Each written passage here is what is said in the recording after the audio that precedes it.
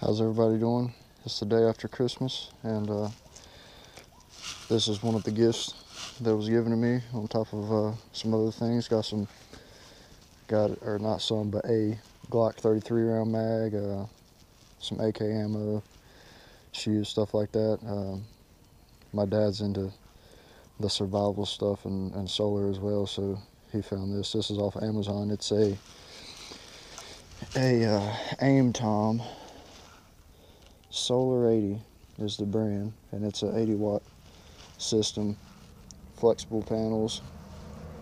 Um, you know there it shows you direct sunlight best cloudy eh, and rain you're not going to do too much.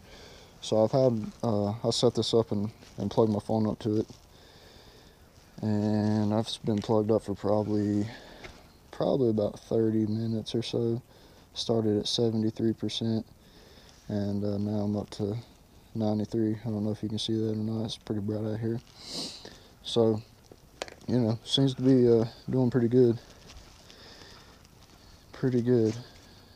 Uh, one of the things that it says on on the uh, you know where they post it up for sale is a lot of these uh, systems have tighter grids in here and it says you know these, these obviously have grids but they're not as small.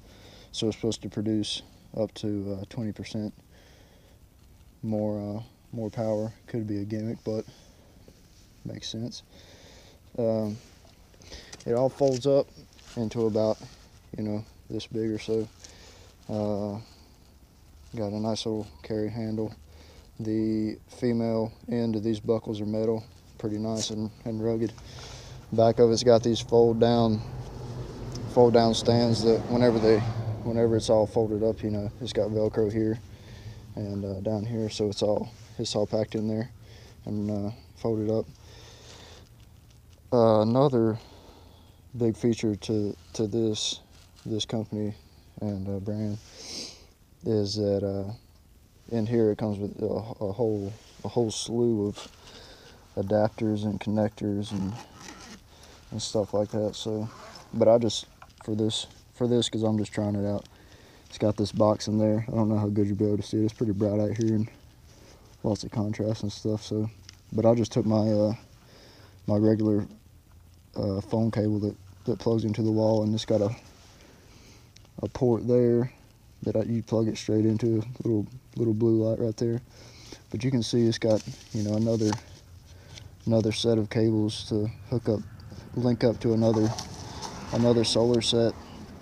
And I mean, there's a there's a load of attachments and and plugins in there, but it's nice because it's all all contained in the back and it's always with you.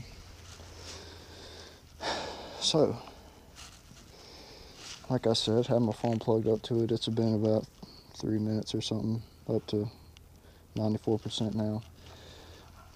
So it's doing its, it's doing its job. It's doing good it's it's not a uh, there's nothing on this panel itself to store the power. So you know if, if you want to store it into anything you got to buy a battery bank separate which may do may do later I've looked up the reviews and, and stuff on this one and it's not a it's not the most popular but it seems to be a good quality one.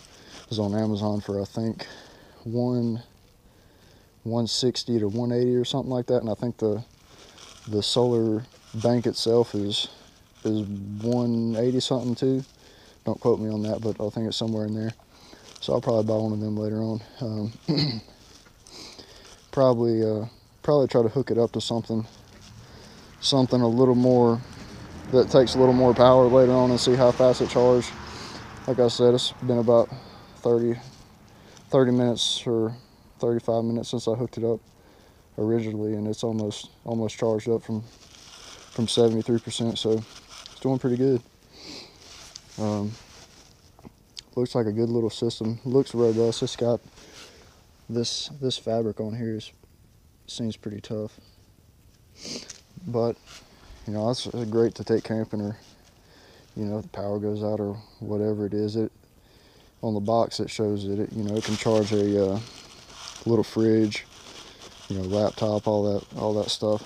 Just got to have the good old sunlight and, and you're good to go. So may may hook up something bigger to it and see how it does later. But right now, seems to be be doing pretty good, and it's a sleek little system. So tell me what you guys think.